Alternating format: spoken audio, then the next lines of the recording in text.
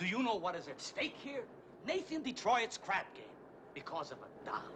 I cannot believe that a number one businessman like you could let himself go and fall in love with his own fiancée. All right, so Adelaide is my weakness. Can you not be tolerant that I have got a weakness? Especially since this weakness is a sad condition that guys are in all over the world? Look, what's playing at the Roxy? I'll tell you what's playing at the Roxy.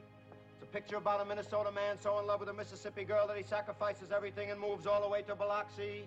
That's what's playing at the Roxy. What's in the Daily News? I'll tell you what's in the Daily News. Story about a guy who bought his wife a small ruby with what otherwise would have been his union dues. That's what's in the Daily News. What's happening all over? I'll tell you what's happening all over. Guy sitting home by a television set who used to be something of a rover. That's what's happening all over. Love is a thing that has licked them. And it looks like I'm just another victim. Yes, sir. When you see a guy reach for stars in the sky, you can bet that he's doing it for some doll. When you spot a John waiting out in the rain, chances are he's insane, as only a John can be for a Jane. When you meet a gent paying all kinds of rent for a flat that could flatten the Taj Mahal. Call it sad, call it funny, but it's better than even money that the guy's only doing it for some doll.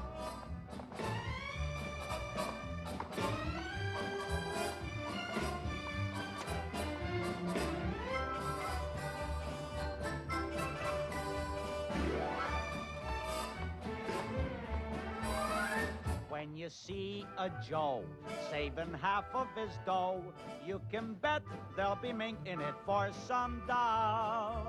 When a bum buys wine like a bum can't afford, it's a cinch that the bum is under the thumb of some little broad.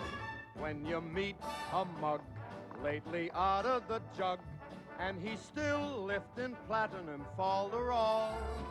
Call it hell, call it heaven. It's a probable 12 to 7 that the guy's only doing it for some dough.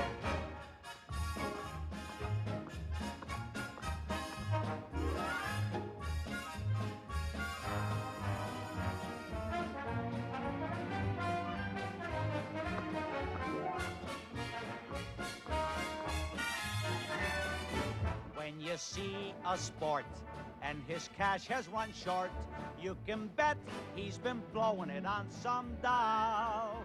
When a guy wears tails with the front gleaming white, who the heck do you think he's tickling pink on Saturday night?